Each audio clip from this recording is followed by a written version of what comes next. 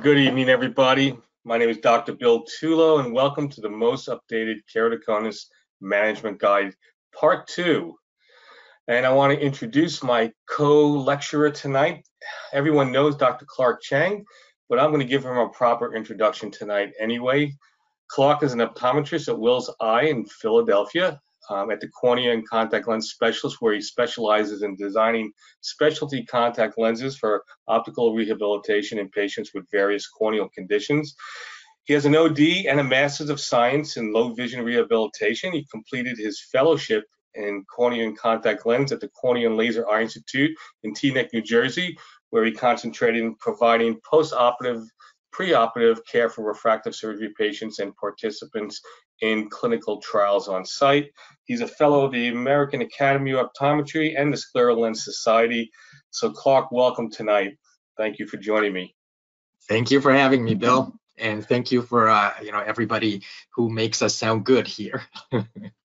so I want to also recommend to everyone attending this lecture, if you're interested in keratoconus, a fabulous resource for education that has no cost involved is the International Keratoconus Academy. Clark and I are on the board of that academy, and um, we all supply educational information for, for um, clinicians and patients with keratoconus. You can visit it at www.keratoconusacademy.com. Um, again, great, great resource. So save that one in your favorites. So quickly to our disclosures. Um, here's Clark's disclosures for tonight and my disclosures for tonight also. Again, I'm medical director of Oculus. Clark, why don't you take it away? I thought it would be great if we do a short recap because um, tonight we're going to focus primarily on the treatment of keratoconus. Um, but let's talk a little bit about the diagnosis, which is essential in the early diagnosis. So take it away.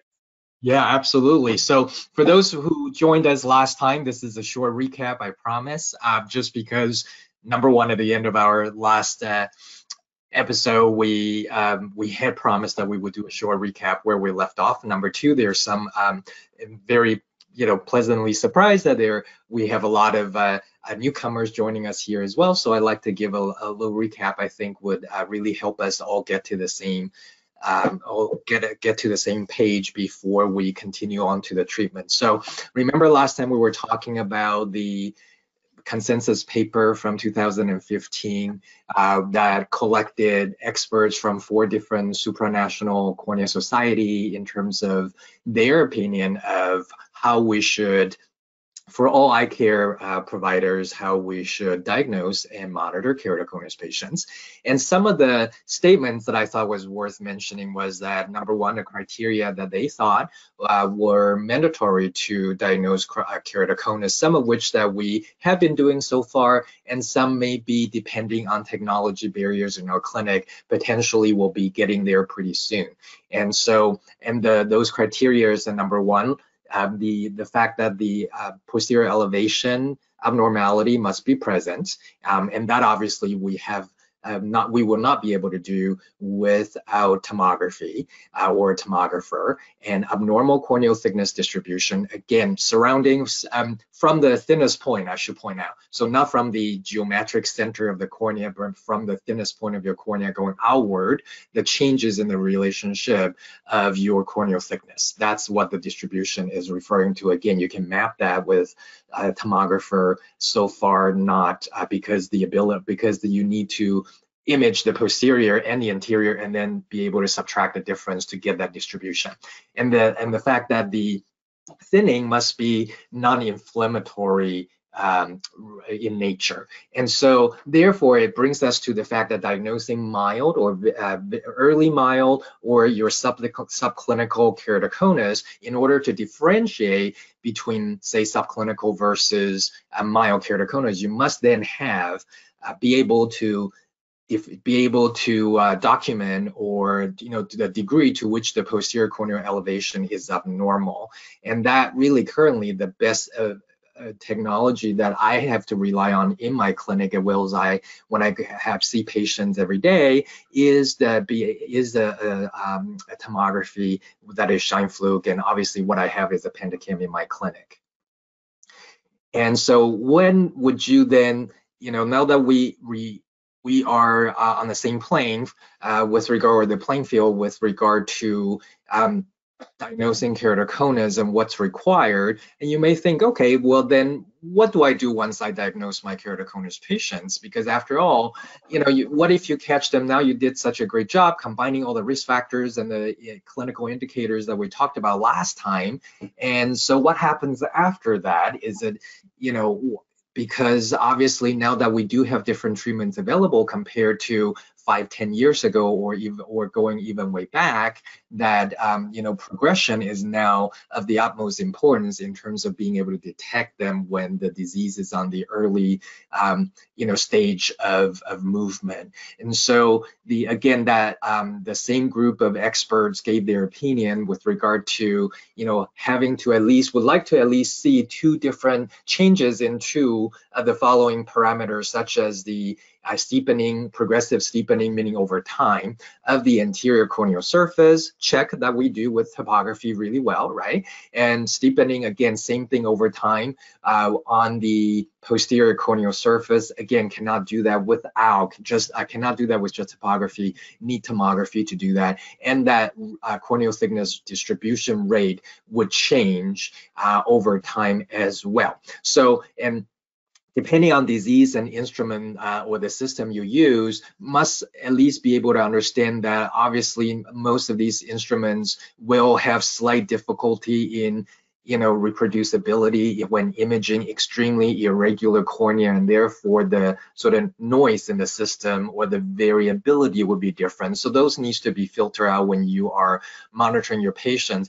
But i personally think this next sentence to me is one of the most powerful statement, and I know Bill will be surprised. Um, I think most powerful statement from this uh, publication is the fact that it states that progression, although could be accompanied by decrease in best spectacle corrected acuity, a change in visual acuity, um, meaning a re, you know a drop in their best corrected visual acuity, is not required for such documentation. And why I think that's so important is I feel like we for so long have used corneal transplant as a sort of refractive for its refractive property or therapeutic property as uh, well as contact lenses and all that we see and pardon the pun, all that we do um, you know, pay attention to in our keratoconus patients is their vision. If they're seeing well, we define their disease by their vision. It does not really quite matter if their disease is severe, looking at their Kmax or looking at their, you know, anterior posterior elevation.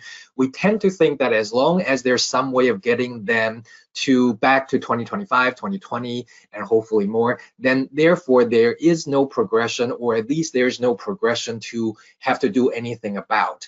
And I think we need to separate the visual component as well as the morphology and the disease component so that we could fully utilize the instrumentation and the treatment option that we have in clinic. So what are the, uh, the what are the instrumentation that we could rely on uh, in this case? So remember last time we also talked a little bit about utilizing different software capacity within uh, Pentacam. And one of the more powerful tools, rather than just looking at your regular format layout, those of you who are um, familiar with uh, with what a Scheimpflug topography basic output looks like with the formats.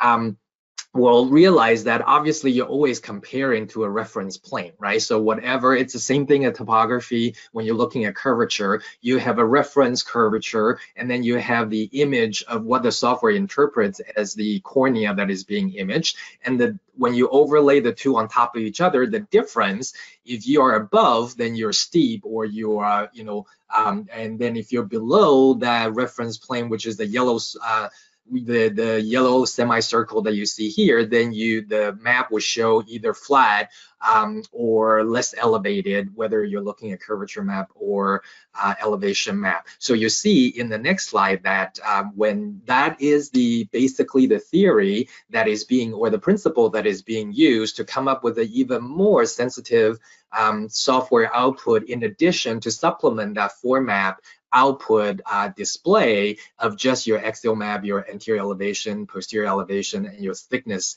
map.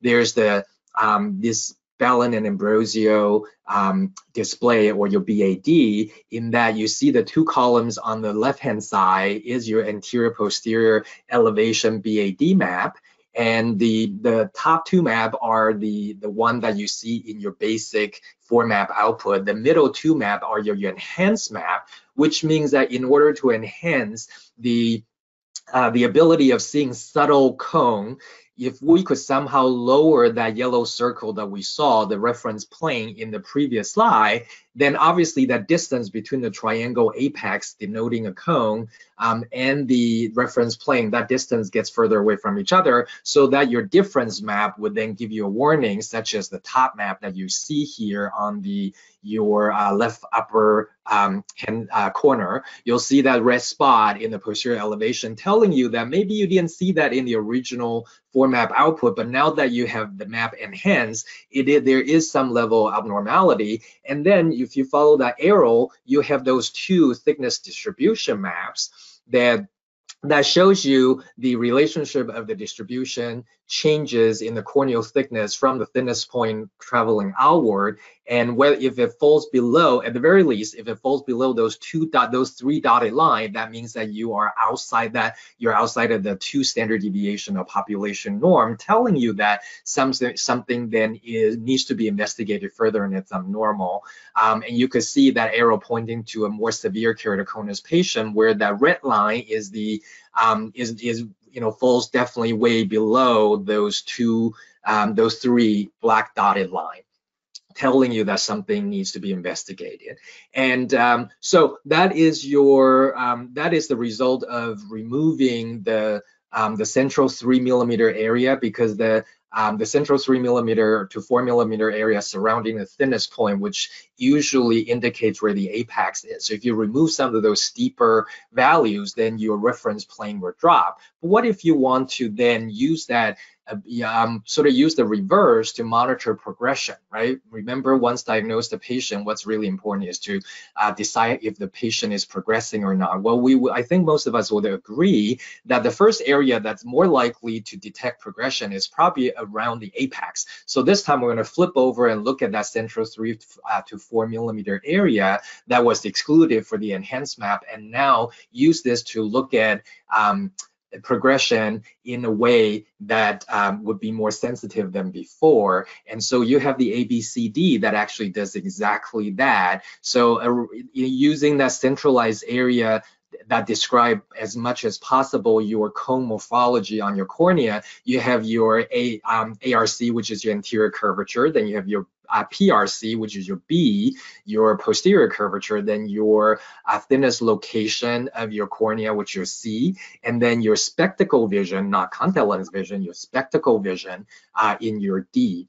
So using that ABCD, um, Oculus and Dr. Belin um, with collaborators looked at um, both normal corneal population and as well as what you see in the green gate or those green flags.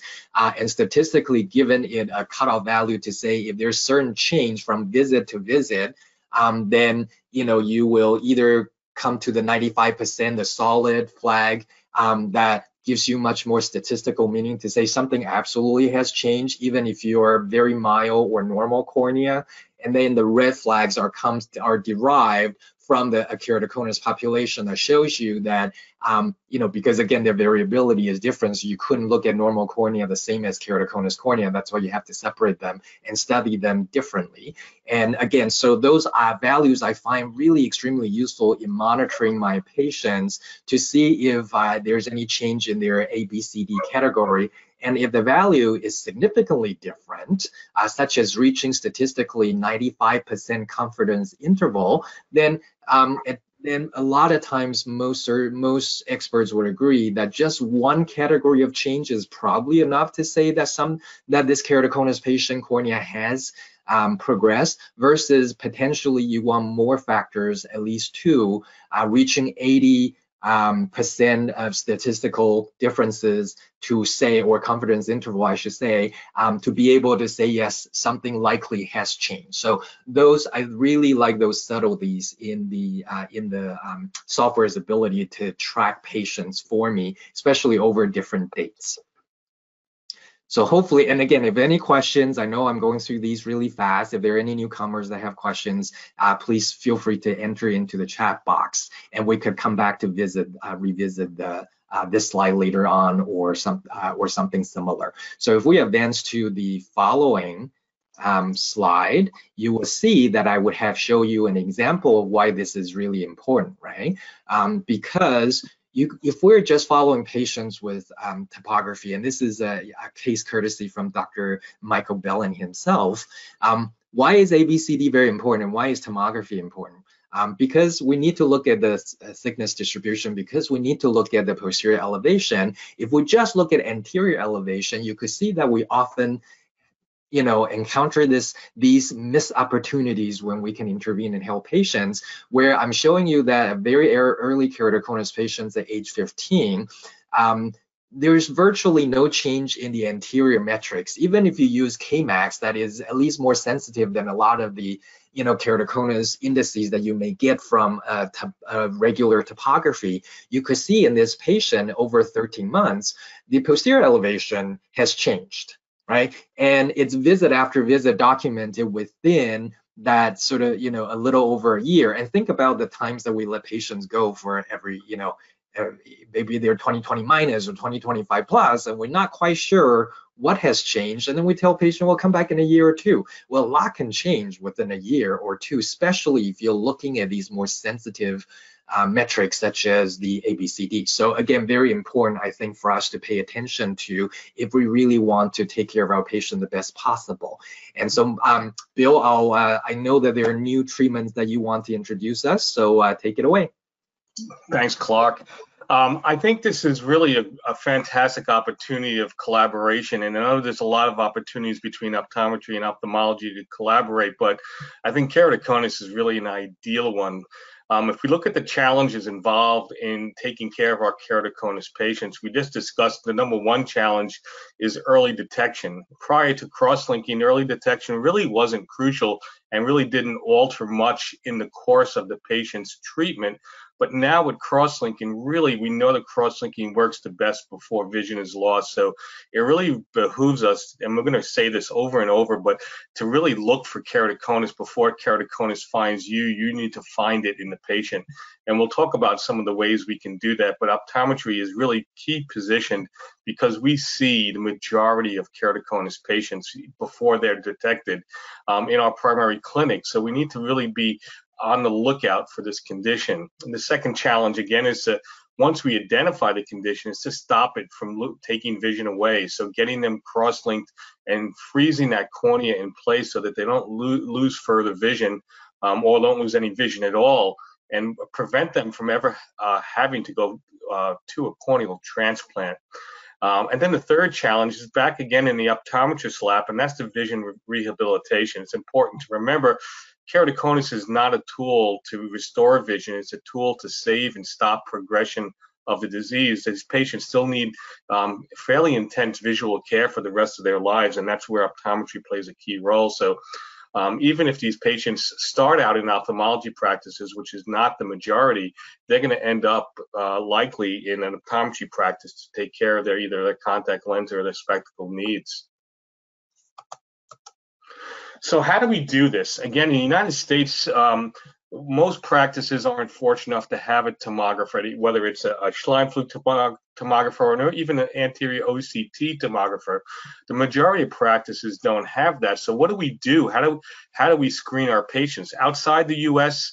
Most vision clinics are centralized, meaning that um, the majority of the patients in the population will go to just a few clinics, and these clinics, being centralized, have a lot of this technology in place, and they've incorporated into the routine annual visits screening tools like tomography and topography. But in the US, that's a challenge. So, what do we do as, as clinicians if we don't have all these tools? Well, here are seven key steps that you should keep in mind whenever you see your patients, especially your young patients that may be emerging into keratoconus and maybe you don't have a tomographer to look for. So what do you look for? Number one, we know that keratoconus is an asymmetric disease. So again, always look for asymmetry. And number one asymmetry is refractive changes. When you see one eye change and then you see two years in a row one eye change and the other eye didn't, be highly suspicious. If you see a frequent contact lens refit, especially again, one eye being more problematic than the other, or, or larger changes, especially astigmatism, be suspicious, especially corneal astigmatism. Be suspicious. If a K reading exceeds 47, especially in one eye only, be very suspicious and consider uh, sending these patients out, especially young patients, for additional testing. Subjective visual complaints. Maybe you might refract someone, they get their glasses done, and they come back and they still complain. I, well, I can read it, but it's not clear. And again, maybe we don't have aberrometry and we can't tell it as emerging coma or other reasons for the quality of vision to be lost. But when patients start complaining about subjective vision and they didn't complain about it in the past, consider that as a warning sign. Number five, best corrected vision. Again, patients should have symmetric best corrected vision with normal corneas. Uh, we found in studies that we did amongst large populations of patients that as little as three letters of asymmetry between the right and left eye with no other explanation is significant and may be an emerging case of keratoconus and warrants further inspection again with a tomographer. Strong family history. Whenever we see a patient whose brother or sister or father or mother has been diagnosed with keratoconus, they should be had they should have surveillance, especially if they're young, surveillance with tomography. And again, medical history. If they have atopic disease, they have any collagen diseases or chronic eye rubbing, all of these conditions should make you think about the possibility, even if they are best corrected to 2020, if you see any asymmetries, you should start to suspect that maybe this patient requires more testing. And again, become friendly with a practitioner in your in your town that has these kinds of tests. And the easiest way typically is a refractive surgery center. I worked with TLC laser eye centers for 20 years, and we used to have patients come over for um, Pentacam studies all the time that weren't refractive surgery candidates, but just to get screened to make sure that these patients are not emerging keratoconus. So again, even if you don't have the technology, these seven things should go through your mind anytime you're seeing a patient in routine practice. And it only takes a few seconds to consider these things during a typical routine annual exam. So the mantra again is to look for that keratoconus, diagnose it early. Again, don't wait for the patients to lose vision because again, cross-linking was wonderful as it is, and it's amazing is not predictable as far as restoring vision. Some patients do get improved vision, many do, but not in a not in a, a, predictable fashion. So we need to get them treated as soon and as early as possible, as soon as we diagnose that progression, as Clark talked about. Again, the, and the goal again is to maintain that quality of vision, quality of life related to the quality of vision. Let's talk about the uh, now Glaukos uh, FDA study in 2017 where they got approval. It's been five years already. We now have approval in the U.S. for cross-linking. It felt like forever until we got it, but we do have a, approval. And let's talk a little bit. I think understanding the study helps us a little bit understand about the patients that may benefit from cross-linking. Number one, the inclusion criteria was very broad. We had patients as young as 14 and as old as 65. Um, they had to have a diagnosis of keratoconus or post-LASIK or refractive surgery ectasia. They had to have an axial topography consistent with keratoconus, meaning either 47 or steeper, or an IS ratio, which is an inferior superior asymmetry of at least one and a half diopters. Um, they had to have best corrected vision worse than 2020, and they had to have a corneal thickness and no, it's not 400 microns, it's 300 microns. And we'll talk about why they included patients in the study as low as 300 microns. And again, they had to be progressive. We'll talk about the actual indication, but the progression is important. They had to satisfy one of these four conditions either an increase of one diopter in steep K over the last two years, an increase in one diopter of manifest astigmatism, a myopic shift of half a diopter on the subjective refraction or a steepening of the opticals back the back optical zone or the base curve of the rigid contact lens by 0.1 millimeters or about a half a diopter. So any one of these criteria would would include them in the study as progressive patient. Again, but it's in, it's it's it's important to know that this is the population that was studied. It doesn't mean that you can't recommend a patient that's outside this criteria, but it's also it's important when you look at the data to know this is the population that was studied. And here's the results um, of the K-max changes. And the study, the phase three study, was a was was a study with with two controls. One was a sham group who didn't get any treatment, um, and the other was the actual treatment group. And you see in blue the treatment group, as time went on, their K-max got flatter. And the sham group continued to worsen over time, as you would expect in the pink uh, graph here.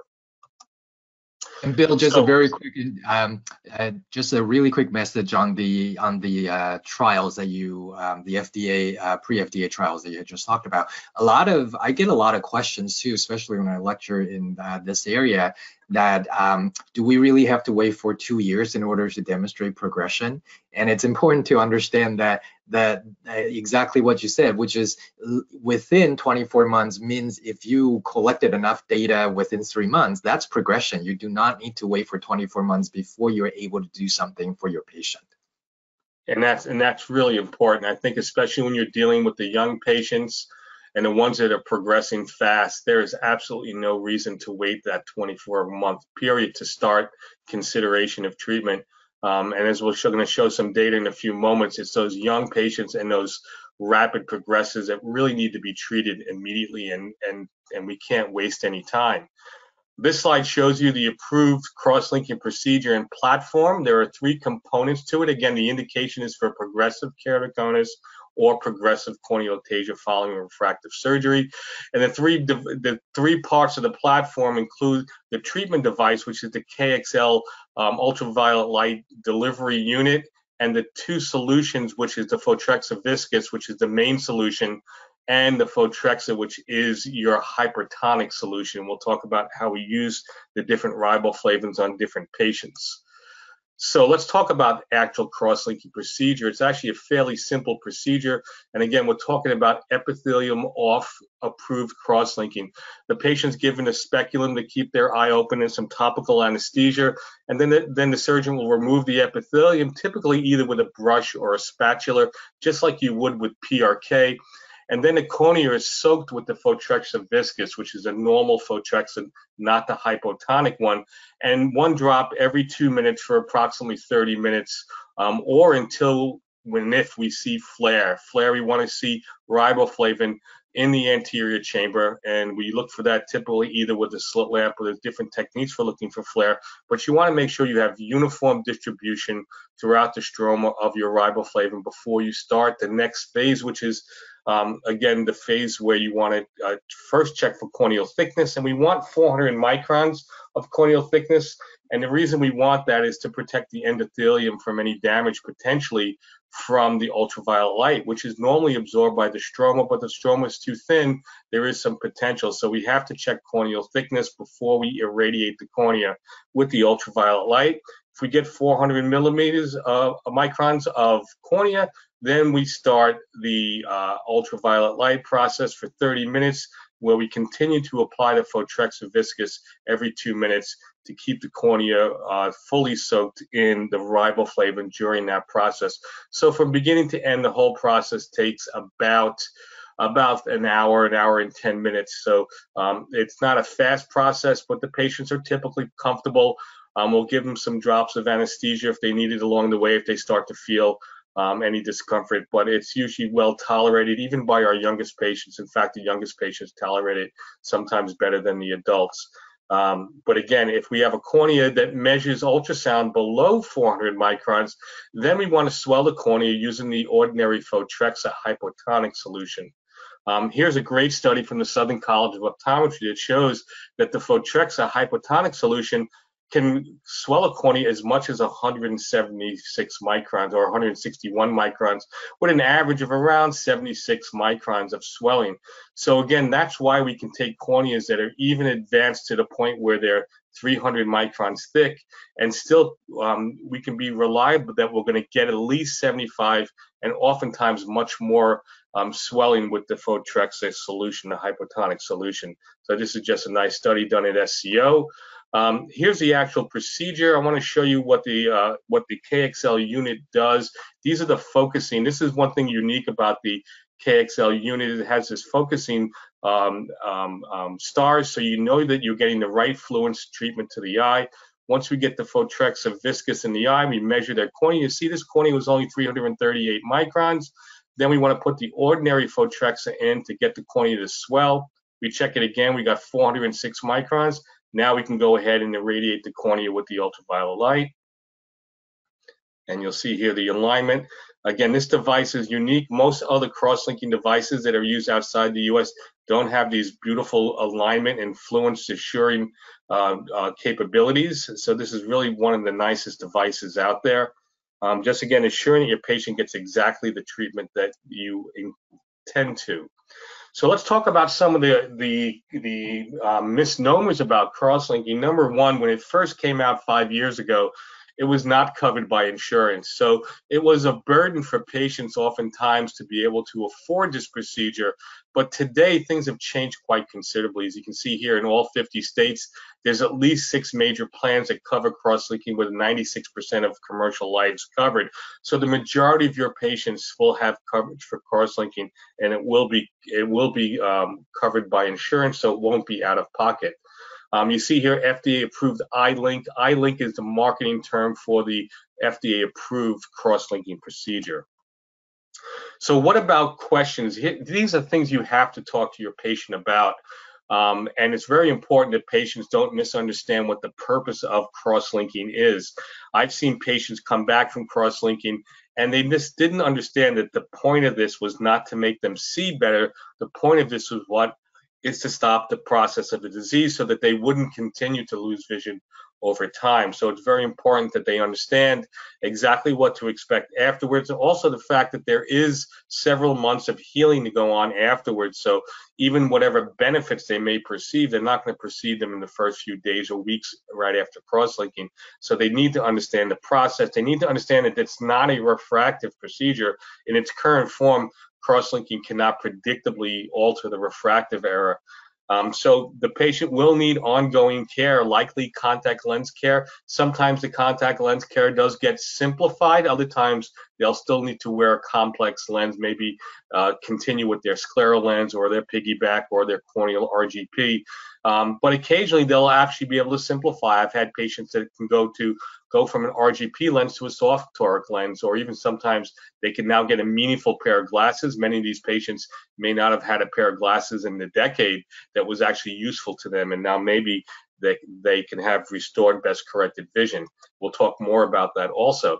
So what, what do the patients ask me? Well, they ask me, well, why do I need this? And even more importantly, why does my my my son or daughter need this? Because sometimes we're talking about um, talking to the parents of patients that have uh, keratoconus at a very young age. So this was an outstanding economic analysis done by Dick Lindstrom, um, John Berdahl, and Eric Donnenfeld. And, and, and the key point to look at here is this middle part where you see 26% of the patients uh, reduction in the rate of needing a penetrating keratoplasty. And that's really our goal. A lot of patients think, well, don't worry, no big deal. I, this one day I'll get a new cornea and I'll be back to normal. And we all know that penetrating keratoplasties are not a solution to get back to normal. They're a last, uh, uh really a last alternative. And patient, patients that have penetrating keratoplasties need ongoing complex care. And oftentimes they may need a second keratoplasty, depending on how young they are when they get their first one. So it is not a visual solution, it is a last resort. So we want to try to prevent them from that. And the interesting part about that 26% is we break that category into the slow progressors and the fast progressors. Take a look at the fast progressors, and these are oftentimes your young patients. If they had cross-linking, iLink, only 2.5% went on to needing PKs but 92% of them had penetrating keratoplasties if they didn't get cross-linked. So it's particularly important that when we identify a progressor that's fast, that we get them to cross-linking as quickly as possible. Um, and when we look at the overall impacts to their, their, their quality of life and their impact on productivity and cost over a lifetime, you see they, they, they calculated 28 less years in the advanced stages of the disease if we can identify them early, get them treated early. So really it's it, it really it puts the impetus on us to find these patients before they lose vision. And we talk about quality of life, and now we're starting to see some really good studies out there. There are these are two of several that have come out in the last five years that studies quality of life. One of the things I talk to a lot of optometrists who fit a lot of keratoconus patients with contact lenses and a lot of them really are under the impression that it all ends when you can achieve 2020 or 2025 vision, that the patient must be happy and they're back to quote unquote normal. But these studies clearly show that acuity is just one piece of the puzzle for quality of life. If you look at the left on the Kandel et al. paper here, it shows that a lot of these patients, while they may get good vision with their contacts, they can't wear them all day, and they have to plan their whole life around their eight or 10 hours of wear, and that's really a, a reduction in quality of life. They also often can have pain and discomfort by the end of the day that reduces their quality of life. And there's, again, it's a, uh, you can't go by just their best corrected vision and assume that they, they have a happy quality of life. On the paper on the right by Panthier, he talks about really focusing on the eye with the best corrected vision. So usually because of the asymmetry of the disease, one eye is much worse than the other. So it's most important that we have a good, uh, comfortable contact lens or even eyeglass, whatever you can do in that better eye. But it also really makes us rethink about the cross-linking adage where we used to always like, you know what, let's aggressively cross-link the worst eye first and then watch the other eye. I think a lot of doctors who are doing cross-linking now are much more aggressive in pre-treating the eye that hasn't lost vision um, because we see what happens to the fellow eye. And once the patient's second eye starts to become significantly involved, that's when their quality of life really goes down. So we really want to protect that better eye. Um, again, because of the fact that that impacts their quality of life very significantly. The third thing is, again, rehabilitation. Again, cross-linking is not going to take away the astigmatism. It may make the astigmatism more regular, again, making it maybe slightly easier to fit a lens or maybe a simpler type of lens for a patient, but they're going to need ongoing vision care for the rest of their lives. Um, and so, it, again, this is important for optometrists to be involved in maximizing the care and the quality of life of these patients. So, really important that we take this stuff into consideration when we're treating our keratoconus patients. One of the things that keratoconus patients ask all the time, especially if they're talking about maybe their 13 year old child, is, well, why can't we just wait? I really don't want my 13 year old child to undergo a surgery. Um, and you know what? COVID 19 gave us the opportunity to look at some data that shows that waiting is really a bad thing, particularly in our younger population, particularly in our uh, fast progressing population. The first study here, Shah, showed that um, because of COVID restrictions, most patients were delayed by at least three months. And in just in that period of time, they lost one more line of vision. Um, the GOAL study showed similar things again over, over a longer time period, almost 40% of the patients lost significant vision. The Shatsit study showed that 88% of the patients in that study had a Kmax uh, worsen in, in 12 months by one diopter. And finally, the Romano study, which is actually a more interesting study, showed really talked about surveillance and how closely we should watch these patients, and particularly their suggestions for patients under 18 that if we if we diagnose progressive keratoconus, they shouldn't wait more than six weeks to get treated. They need to be treated right away. And even our older patients, if they're proven to be progressive, again, don't wait more than 12 weeks because these patients will have worse outcomes and lose vision that may not be able to be restored. So really is important when patients say, well, why don't we just come back in six months or a year? And I've had these patients do this and disappear and come back a year or two later and they're significantly worse. And especially when it's a young patient, it really is disheartening. So really it behooves us to have to help them understand why waiting is not in their best interest and likely they're going to have a worse outcome if they do wait. And here, the last question is, well, how long does it last? And you know, up until a year or two ago, we couldn't even answer this question because we didn't have long, long-term data. Um, Dr. Stephen Greenstein, um, Dr. John Gelles at the uh, CLEI Center for Keratoconus in Teaneck, New Jersey, published some data just recently that showed 10-year epi off outcomes from cross-linking, and this is the first publication I've seen for with 10-year data, um, and it really showed that cross-linking is really remarkable. Even 10 years after treatment, it showed stable topography in the majority of the cohort, better with keratoconus than with post-LASIK ectasia, but really look at the stable best corrected vision. 100% of the keratoconus eyes uh, had stable best corrected vision. You can see progression here is defined as a Kmax steepening of two diopters or worsening of visual acuity by two lines or progression significant on the ABCD progression display. So again, cross-linking works, it works well. Most patients won't need repeated treatments, but occasionally a patient may need to be treated if we see progression happen. Um, and, these, and these patients often can be treated successfully. So what are the considerations for if, if you if you're seeing patients after cross-linking? It's going to be a lot like a PRK patient in the sense they're going to come in with a bandaged contact lens on their eye. Um, the postoperative regimen is similar with a topical antibiotic, a topical steroid, topical non-steroidal anti-inflammatory, lubricating drops, and usually some oral medication for pain. Um, when you look at this phase three study and you see the uh, the adverse events reported in the phase three study, very similar to PRK. Um, we had you get a few patients with corneal uh, epithelial defects that are persistent, some punctate keratitis, corneal stria, eye pain, blurred vision, um, reduced acuity. Um, these things are, are, usually transient within the first month, they're gone, and occasionally they will um, end up going for more than one month, but by six months, they're all resolved.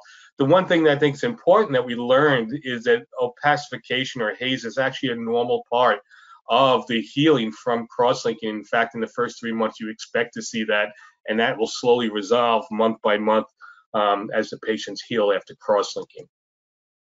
The follow-up schedule typically is like PRK, a day later and a week later. By the week, you can usually see that the epithelium is closed and you can remove the contact lens. Um, again, there is no global period. So if you are quote unquote managing a, a cross-linking patient, um, instead of a co-management fee, you're going to bill medical insurance. And the number of visits you see the patient will vary from patient to patient depending on how they're healing, and if any con- any side effects that you see may require extra visits. But again, all these visits are billed to medical insurance. So again, one day, one week, and one month again. Now their cornea is starting to normalize. You start to do tomography and topography again. You start to assess their vision and Clark is going to talk in a few moments, but if they're wearing contact lenses, it's time to, time to get them back into their contact lenses in that eye. Um, and again, you still want to see them three months, six months, sometimes nine months and 12 months afterwards. So for the first year, you're going to see them multiple times. And again, this is all um, billable to their medical insurance.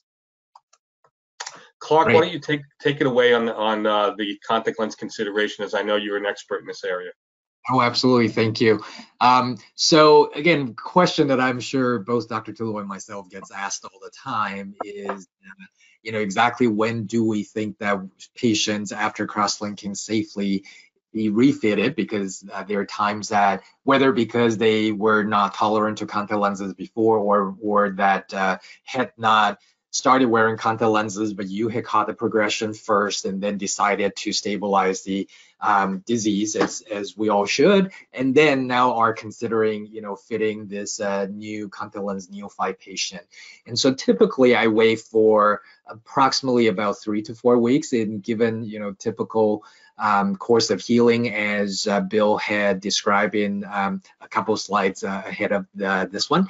And so the, and obviously it all, I think it all also will depend on patients' um, you know lifestyle their needs and the type of contact lenses that they were used to or that the type of contact lenses i think specifically that uh, you especially i mean uh, important uh, as an indicator uh, is the type of lens that you want to fit them into right?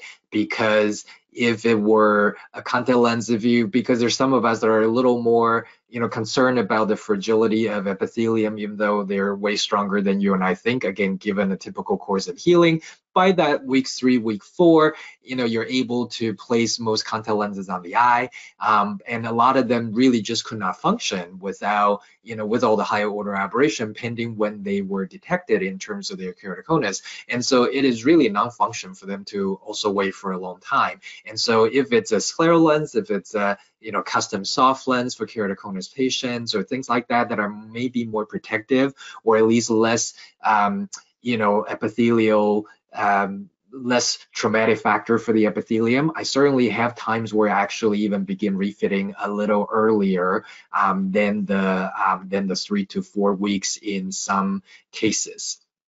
But I think the other question that you'll see in the next slide is that the um, another question that I get asked even as equally as often as this is, well, exactly what type of contact lens do you think we should fit all keratoconus patients? And obviously, there's not a magical answer. I think you all, as you know, astute uh, clinicians, that we all are uh, tonight, because otherwise you wouldn't be on this webinar, um, would be that uh, there's really not. It's not a one size fits all situation and case in point here, I looked at uh, 300, um, actually Dr. as well as credit to the um, to our cornea fellow at that time, Dr. Angela Shin, um, who really helped looking at these consecutive 329 eyes that saw care and um, at our clinic. And uh, the you know, the majority of them were uh, cross-linked. Some of them didn't really require cross-linking because they weren't progressing. But regardless, doesn't matter what type of lens I started with, whether it's corneal GP piggyback lenses, scleral lenses, um, you know, soft keratoconus lenses, hybrid lenses, majority of the time, the number obviously fluctuate a little bit depending on the actual design, but majority of the time, we get about 75% or 76% of success rate defined by the fact that patient claims uh, in the subsequent follow-up and after finalizing their uh, contact lens parameter, they come back and say, yes, I'm full-time wear wearing the lenses, you know, every day for a certain exceeding a certain number of hours. But what we find, so it's not so that it may be somewhat improved. If you look at CLEK study, where at baseline patients were uh, in the mostly in corneal GPs were about 65% successful in tolerating or partially tolerating contact lenses. So yes, some improvements there due to contact lens advancement in the uh, technologies that we all use now. But look at what happened if I just use a completely different category of lens. Let's say if it's a corneal GP and patient is talking about discomfort, and then you switch over to that's just pick another lens design out of the hat, say a scleral lens. And regardless of which second lens we pick, the as you know it, the success rate goes up way high to close to 95% and so on and so forth with number three and number four. So really, I think it's really more. I guess it is true the adage of you know. Um, diversity is the um, you know, is the most important thing in life, and that may, you know, may apply to contact lenses too. Um, so having more choices uh, for you to fit different corneas of your cornea of your keratoconus patients prove, at least in my mind, to be very important. But still, how would you decide which lens to use? And that's why I included this flow chart for you in the next slide. Uh, and it's uh, by an article, uh, came from an article for, uh, by a very good friend of ours, Dr uh, Langis Michaud, and every, a lot of people uh, likely already know him, needs no introduction. But I really like this flow chart uh, because not only does it have ectasia keratoconus uh, decision tree that you could consider using, but also with other pathologies. so I thought it was really nice to um, leave it here for your reference uh, in case in the future you want to come back and listen to this lecture again and, and look up the decision, decision tree. And should you feel like yeah you know that may be a little i, I still feel like uh, customization I, i'm spending a lot of time on it and I, I what what if i don't have the time? Well there are a lot of scan based technology now um, that you'll see in the next slide that will give you capacity and such as in Pentacam as well you have the CSP module where you could capture it's basically a pro uh, uh you know gives you a corneal um, profile as well as your scleral profile. And combining the two, um, especially with the scleral profilometry, you're able to export that data into uh, different lens for diff to create different lens designs. In fact, I just talked to my resident yesterday, um, comes in to work with me at Wills Eye um, once a week and um, was very excited to tell me that he just saw uh, his first dispense patient back after designing a scleral lens using CSP and it was telling me how you know impressed he was. And a true story this just happened yesterday. I wasn't even telling he doesn't I don't even think he knows that I'm giving this webinar uh, tonight. So uh, so it was uh, anyway just to show you that we have a lot of help that if we uh, if we should need it it is there for, it is there for our taking and it is definitely an improvement to our patients quality of life and quality of vision So after corneal cross-linking, you may think, hey, you know, what else is there that we could do uh, instrumentation-wise, not only to, you know, help us with help us with diagnosis and uh, determination of pro progression, but also, as Bill pointed out, it, it can be very important to still continue to monitor your patient's cornea after corneal cross-linking, especially a year and uh, thereafter, because they tend to sort of stabilize month six um, towards uh, between six and 12, and then therefore there after every after which a point a lot of uh, clinical centers like to keep monitoring their patients either every year, sometimes even every six months, pending you know exactly what they're following. So here you could actually dictate and say there's a, I need to reestablish a new baseline. My patient has had cross-linking treatment, and so you could do that. Select a date. It will sort of reshuffle for you, if you will, because now all the future exams is going to be coming back and compare based on this new baseline that you had just indicated or this new baseline date. And you'll see that there's new um, new flags or new gates, if you want um, to uh, call it that, um, that are color blue, telling you that this is a this is a statistical analysis of confidence intervals that's applicable for patients after corneal cross-linking. And you could see in the next slide that uh, it will have, oh, I apologize. I, can we go back one more? Yes, we can. Just to show that it gives you new uh, different baseline date. It gives you a, a, new baseline date in all categories and of the patient. And then so thereafter, and you'll see a dotted line showing you that that's visually helping you along each category where that baseline is. Um, and therefore you could compare kind of going forward uh, using just that bar graph. And Clark, I think it's important to also mention that when you use this feature, that none of the maps will show up in the first 11 months after cross-linking. The first map will show up will, will be 12 months because the eye is still healing. Um, this display will not produce a post cross-linking map um, until it's 12 months out. Indeed, by that, just so there's no confusion, you mean like the bar graph, or do you mean map as in obviously not the format output. No, I mean, yeah, like like the blue line you see here. That this study has to be 12 months after the date you put in for the cross-linking. Otherwise, all the other studies that were done within that 12-month period won't show up on this display because, again, it's impossible to judge progression after cross-linking early on. Hmm. So in that case, just a useful tip um, from you, Dr. Tullo, would you recommend then wait for you to have enough capture that's a year out before you come back and reselect the you know the cross-linking baseline? Or would you just select the cross-linking baseline just know that the the um, the blue flags won't appear until a year later? Yeah i would i would put the cross-linking data in as soon as it's done. I would continue to take scans of the patients three six and nine months after it knowing that it won't be populated into this display but I would continue to take those scans to watch how the cornea is healing, um, just to be sure there's nothing unusual going on. But again, don't be surprised when six months after cross-linking, you do a Pentacam and it doesn't show in this particular display because you've chosen your new baseline as the date of cross-linking. Perfect. Thank you for that.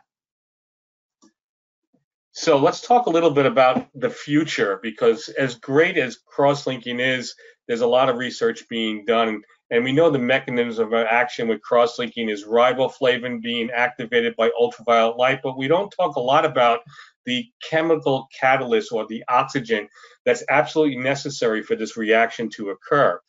So what Glaukos has done is they've undertaken a pivotal trial study of epithelium on cross-linking. It's now in its US phase three, and this was a, a study of 279 eyes with progressive keratoconus at 14 sites, and they randomized the patients into the active uh, progressive category and the control category. The control category got a placebo solution, and the actual treated category got Epi-on ophthalmic solution riboflavin with supplemental oxygen. So, in order to get the maximum efficacy, they've learned over time that adding oxygen to the procedure actually enhances the efficacy of the cross linking. And they also learned that pulsing the ultraviolet light, giving the eye a chance to recuperate from the oxygen usage by again pulsing that UV light made the efficacy even greater. So in this clinical trial, they incorporated both the supplemental oxygen and the pulse UV to maximize the outcomes. And the primary endpoints was a difference of greater than one diopter between the treatment groups um, in mean Kmax at, at six months uh, after treatment. And, and, after six months, all the eyes in the control study were offered the treatment. Um, just again, we didn't want to watch people lose vision um, just because they were in a placebo group. But the the uh, exciting uh, uh, the outcomes is that their primary endpoints appear to be achieved. Um, and again, this data is going to be submitted to the FDA uh, this year. So we're hoping, even though it's not currently approved, that we'll see some approval in the near future for epi on cross-linking, which will again just uh, even reduce further any safety concerns, make the comfort of the procedure even more tolerated. Um, so we're excited about this uh, FDA trial, and we're looking forward for the FDA to hopefully give us approval um, soon for this procedure. So more to follow as we get more information on this. Clark, you want to talk about a couple of other treatment modalities besides cross-linking that can help restore vision? Yeah, absolutely. And obviously, we know that uh, we are able to achieve a lot of these refractive uh, rehabilitation for our patients using contact lenses. And I do it every day in my, uh, you know, every day I go into my uh, um, contact lens clinic at Wills Eye. So it, it, again, obviously that we already know and that's our strength and that's not that's um, you know the reason that we are you know going light on that is because we know all of you ha- know what you know don't you all of you already know this and so that's the reason why we're focusing on some of the new surgical treatments. So Intacs a lot of us know that you know when you when we had corneal gp and the lower sag um, from the sagittal height from the lens, and sometimes it is a little harder to kind of vault over the peripheral elevation created by the Intacs. However, I think now that we have scleral lenses and hybrid lenses, um, a, you know, we may actually do better. And there are some surgical centers that are still, uh, you know, prefer, especially outside the U.S., uh, very popular using, uh, you know, intrastromal ring segment because they have different design. Here you can see using a um, Trephine to create the channel and then and inserting the um, plastic uh, material um, that the Intacs uh, um, are made of. And some of you may, I've received questions about, you know, well, if you're inserting a synthetic material, and I've heard of some complications in the literature, is there another way that we could do something similar? Nothing against, you know, intrastromal segment. I like the idea, but I would prefer it to not be synthetic material. So here, there's a new procedure called CAIRS, or corneal allogenic intrastromal ring segment. I believe the first person who um, brought this to light is uh, Dr. Soosan Jacob from India. So here you could see that she trephines the donor tissue, retaining only the stroma, and then um, using the corneal strip or the stromal strip, cut it into the size of the segment, and then insert them into the uh, the similar channel that we would have created for Intacs. And therefore, there's less elevation issues, if you would, and still same thing that you possibly could uh, obviously not a F approved and, and FDA, FDA approved in US, but possibly then can have a combination procedure with uh, cross-linking.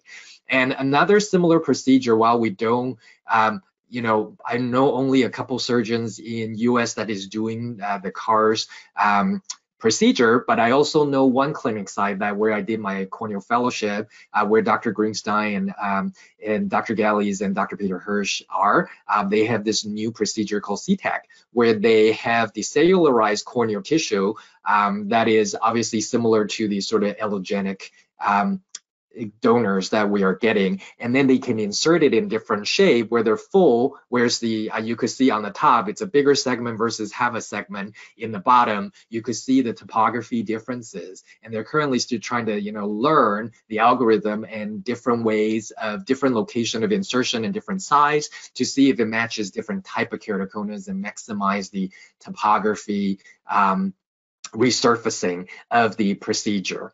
And uh, the uh, yeah, another great tool that is being investigated and not yet FDA approved is topo guided PRK.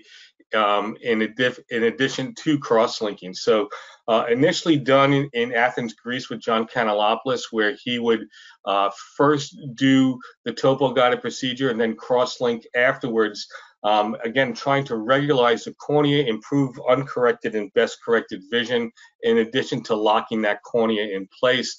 A more recent study by uh, Eric Donnenfeld uh, and, and uh, Dr. Natus in Long Island actually did it the opposite way, where they actually would crosslink first, TopoGuide PRK second, achieving similar results. And uh, I think the key uh, parameter from this study is you look at the 12 month results where you see uncorrected vision, a mean improvement of four lines, and corrected distance vision mean improvement of two lines. So again, just another way to not just stop the progression of the disease, but to help visually rehabilitate these eyes. And um, I've seen eyes get even more improvement than this. But again, just one more tool that some of our doctors out there are using to help our patients with keratoconus. And this is just an example of the patient before and after. And you'll see pre-PRK, they were uncorrected 2150, and now post-PRK, their uncorrected vision went to 2070, and their best correction also improved from 50 to 30. So again, just another way to make it easier for you to fit contacts, easier for them to possibly wear functional glasses. Again, all aimed at improving the quality of life of these patients. And Clark, you want to finish this up? Absolutely. Just a couple more slides, everybody hang in there with us. So obviously, why are we talking about these procedures and in the context in which we have presented? Obviously, the you know, the one of the utmost important goal for our keratoconus patients is that we could reduce the need for or defer maximally the need for corneal transplant. And there are publications out there that have already individually looked at the impact of just having corneal cross-linking years, few years before introduction of cross-linking in, in Norway, and then few years after, so that you could compare uh, some of the initial effects of, uh, of this treatment being introduced into a country has uh, shown 53% um, of reduction in uh, the utilization of corneal transplant, which is great news for us.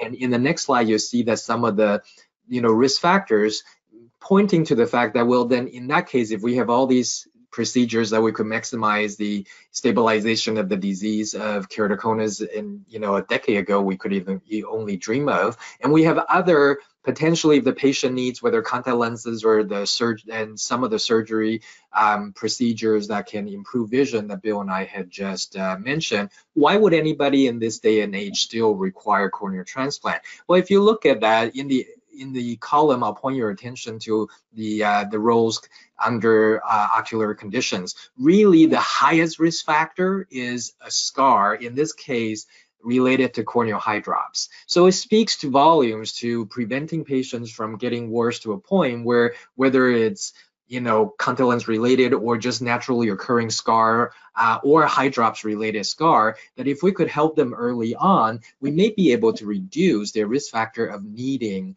a corneal transplant even more.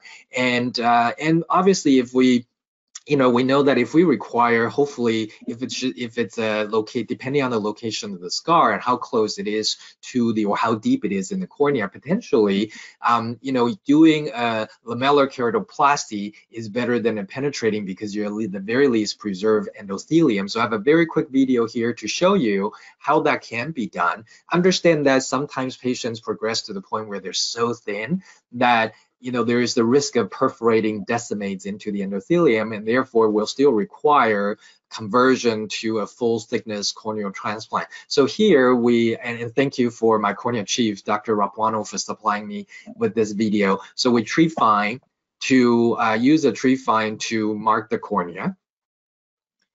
And then as well as just, you know, being able to access the stromal tissue underneath. And this is a this is a patient with, uh, as you can see, with a lot of scarring, and actually not from uh, not due to keratoconus, but regardless, just to show you how the procedure is done. And so we'll use the blade. Uh, before we do that, we'll introduce an air bubble into the anterior chamber. You'll see the purpose of that air bubble in the anterior chamber. Um, after the bubble is introduced, we do a big bubble method because a lot of people get those bubbles, um, the two different bubbles uh, confused. The big bubble method into the stroma is to separate the tissue to make it easier to tease off the tissue. But the bubble in the anterior chamber is to show us, give us a sort of sense of depth of where the anterior chamber is to guide us in um, operating through some sometimes these very thin cornea. Once we get down to about 90%, we will take a blade and, and perforate the very last step in very carefully into the descemet and careful take caution not to um, go not to perforate into uh, into the anterior chambers through the uh, endothelium. So it's called the brave slash. And then after that, you see the air bubble is still intact, telling us that we did not breach the endothelium, right? That's another purpose for why that anterior chamber uh, bubble is introduced. And then we'll um, basically um, place the donor tissue without endothelium and then suture uh, as per surgeon's uh, preference. And uh, so that's uh, this is a great video, and I want to thank Dr. Rapuano again. So Bill, back to you. Sure. So we are over time, but I do have a lot of questions. Um, we'll try to answer a few of them, and the rest we can try to answer via email. So Clark, let me pose some of these to you. Um, is it ever recommended to do cross-linking on both eyes the same day? How would you answer that question? And I know there's an on-label answer, and then there's another answer. Right. Um, and so obviously we're at a unique situation where in US we have only one FDA approved um, treatment technology. And so if you not, to be honest, if you look at the labeling, there's not an indication, there's no instruction from the FDA on the label of the procedure in saying that you absolutely should do only one eye versus both eyes it's really more a conventional understanding, very similar to cataract surgery, and that even that is changing slightly, right? Um, in that most sur most surgical centers will want to wait for one eye to stabilize for a period of time, see how the patient react to a certain procedure um, before they treat the other eye, um, and therefore most of the time in US when you are talking about FDA approved corneal cross-linking, majority of the surgeons, if not all of the surgeons that I know will only will only perform cross-linking on one eye versus be first and wait for it to stabilize, not necessarily fully heal like a year or two later, but separated with some time to make sure that um, you know the epithelium and the infectious risk is under control. The patient does well before proceeding to the other eye. Hence the argument of do we treat the worst eye first or the better eye first? And Clark, I think you would agree too. It, it, a lot has to do too with the fact that if they're wearing bilateral contact lenses and you have to discontinue their lens wear for 30 days, it, it, it, can be a really difficult period of time if both eyes are are are out of their contact lenses um, and they're forced to even many of them don't even have spectacles and, and they can't see well with spectacles. So I, I, think doing most doctors are doing one eye at a time for the practicality of it too. So um, I, I, have heard of a few exceptions and maybe with epi on cross-linking we'll see a different trend at some point. But I think right now the majority of, of, of surgeons for lots of different reasons are doing one eye at a time, giving that time eye time to heal. All right, let's uh, go to, here's a question, an interesting question, Clark. Are you comfortable using genetic testing, um, using polygenic scoring for, in any way for um, counseling or, or considering consideration of treatment of risk factors? So uh, uh in your clinic, Clark, do you use genetic testing or recommend it for any of your patients? Um, at our cornea service, we have we discussed with patient or have discussed with patients in some cases with regard to the availability of genetic testing. We have not incorporated into our flow as a regular protocol.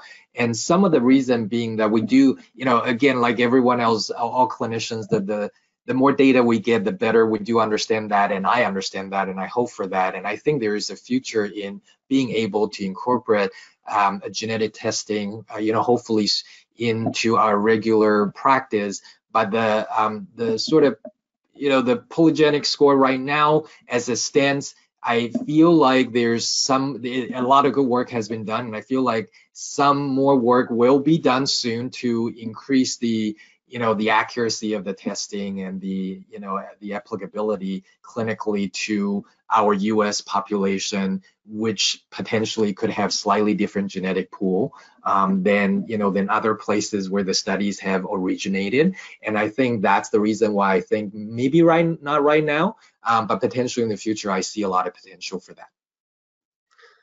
Excellent answer Um, here's an interesting clinical question. Who is at risk for sterile infiltrates following cross-linking? And uh, comment was, is it mostly phototoxic or epithelial trauma related? Um, I'll, I'll, let you give your opinion. I'll, I'll throw my experience in too. Sure. So the question is, what are the most likely causes? yeah, or, or is there a, a, patient profile that's at greater risk for sterile infiltrates uh, in the early postoperative course? Um, you know, I've seen recently have read a few um, publications that have were talking about the fact that patients with you know severe atopic disease for example mm-hmm. are more likely to you know have underlying inflammation. Obviously we all know that. And that would potentially set them up to be patients who are more likely to regress. And therefore this recent article actually I, uh, that I just read a few days ago recommended epi-off cross-linking for that reason saying well you know because you reduce the risk of regression. I would likely say the same thing about patients who are more at high risk if you would to develop um, something like a sterile infiltrate um, in, if they have more underlying inflammatory disease, um, maybe persistent defect, if they have healing issues such as maybe they had uh, prior episodes of epithelial basement issues that they already report to you. Um, those are two sort of group of patients that I would see, you know, they're probably at higher level risk to develop that kind of epithelial complication and we should obviously watch them more carefully and maybe give them you know more uh, therapeutics um, post post-operative therapeutics maybe like an AMT or something like that to help them uh, to help them heal. In terms of um, possibly what are some of the causes. It's really interesting. Uh, there's not, I haven't seen really any meta-analysis done globally to say, um, you know, what the cause is because the the you know use, using UV light to conduct cross-linking, UV itself has uh, antimicrobial property. So it's even not in US again, outside the US, have been have been used to to investigate potential ability to use something like cross-linking, similar technique, um, not exactly the, the same, but similar technique in as a treatment for microbial keratitis, and therefore to say that it would then lead to more risk likelihood of uh, a sterile infiltrate or even ulcer is the reason why there there's some you know conflict there or country there's um, there's some conflict there that you know I don't think we have sorted out why some people as few as they are why do they have that kind of complication afterwards. Yeah, I, I, think the two things I would add to that, Clark, and in my experience, while I've seen a lot of cross-linking patients, I've seen thousands of PRK patients, and I think you can't ignore two other things. One is just chronic blepharitis that's ignored um, and gives gives that that sterile infiltrate higher risk, and also a, a tight fitting bandage contact lens. Um, I think those two issues also um, will predispose patients to these sterile infiltrates in the early postoperative course. So I think I think it's so multifactorial. Um, again, the the excimer laser has different frequency of UV light, but similar um, uh, exposure um, to UV light, and um, I think there's a lot of factors, and some of them are in, um, are in procedure related, and some of them are uh, related to either the patient's uh, anatomy, physiology, and the contact lens that's on their eyes. So there's a lot of issues, and it's and it's not a big issue. The sterile infiltrates, as long as they're identified, um, these patients do well. There's there's a good prognosis for these patients. The key thing is, is again, follow-up care and close care. Um, here's a here's a great question to end this with, um, just so we don't keep people on too late. Do you recommend screening all patients for keratoconus? Now, I'll answer mine first, Clark, then I'll let you close it out. I, I would say it's ideal if we can get to a point where we are screening all patients, particularly young patients. And I'll tie this into another question we asked about the incidence of keratoconus. And, and Clark, we can talk about these two things probably in the same, same sentence. Um, ideally, it would be great to, to screen, especially all young patients, um, for keratoconus uh, whether it's with a tomographer or, or a topographer. Um, and um, again, all those suspicious signs, those those, uh, those specific signs we talked about, key on those and make sure you. But it's very difficult to do to add uh, five minutes to every single eye exam. in a, in a clinic that sees a lot of patients a day, but it would be ideal if we can get to that point where we have a very quick screening process um, that we can do for our patients. Um, and yes. going to the incidence of keratoconus, I know for the last 15 years, there's been um, um, the U.S. data has shown the prevalence of keratoconus to be one in 2,000, and that's been on a lot of websites for a long, long time. And most of us, our experience in, in, in the U.S. and outside the U.S. is that it's it depends on your clinical setting. I mean, when I was in refractive surgery setting, because we would self-select for these patients, it was probably closer to one in 50. In my primary care optometry office, it was probably closer to one in 750 um, so a lot depends on your practice modality and what the incidence is um, for you in your clinic.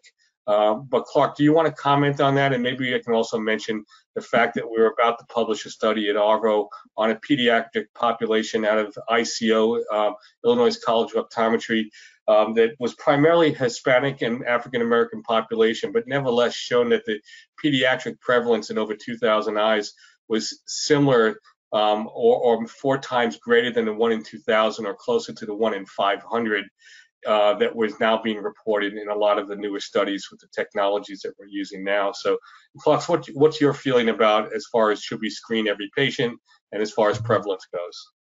Yeah, I mean, obviously, really looking forward to the uh, the data that um, is between a collaboration between, uh, as you say, ICO and, and International Keratoconus Academy, um, looking at pediatric uh, population uh, in Chicago, uh, in Chicago uh, with regard to keratoconus prevalence. So yeah, look at really looking forward to reading that. But my you know, eh, so I think in two things, right? Number one, it speaks to the power of the instrumentation that we've been talking about today and last time, and that is the as the as we get better at detecting these patients, we will find more patients if we just use the if we use the uh, you know updated and appropriate technology. And so once we have that technology barrier lowered for us, then the the other side of the question would come back to the first question, then does that mean we should start screening as many patients as we can? If it's not everybody, at least in the patient more likely to uh, or more prone to develop this condition, given the fact that the prevalence rate may be a different number nowadays. And so I think those are two related questions and they're indeed great. And the I, I think if we could you know, since we're usually delegating someone else to do screening procedure, uh, our trusted technician in our clinic to help us out, um, you know, there, I think there is great potential yet to be explored that, that, you know, we would be great if we could start screening, if not everybody, at least the, you know, younger population, maybe 30, 35 or under. Uh, I don't just mean like in your teens. Um, because if you look at that look at that study that I showed you with the uh, risk factor for corneal transplant, you see that patients in uh, at the um, age in their 20s and in their 30s are actually more likely to go and seek corneal transplant if they feel likely feel the frustration that they've accumulated from a very young age with their vision and with their condition and with their anxiety. And if you think about the fact that I think a, a friend of uh, um, you know, we have a, um, a common friend who has said something that I that had really always that you know impacted me a lot, and that is if you think about how many pediatric glaucoma patients we detect on a yearly basis, um, which most of us would say it's very low and it may be virtually none. And yet we try to perform tonometry, some form of tonometry, where NCT tonopen, you know, applanation on anybody who would sit down in the, you know, enough for, with enough time for us to perform that procedure, even though we cannot bill for it. And when it, so I think we need to take that principle and apply it to tomography, apply it to, to um, tomography um, because we have such great devices now, such as with the you know Oculus Pentacam, and the flow, if we could delegate it properly, can be so quick that I, I would really think that it would benefit us, our profession, and our patients if we could get to the point where we you know not use billing as a reason, but start screening everyone. Great point, Clark. Again, yeah, we can we can screen our patients in in under four minutes so it doesn't add significant time to our workup, and I think it's a great thing to do.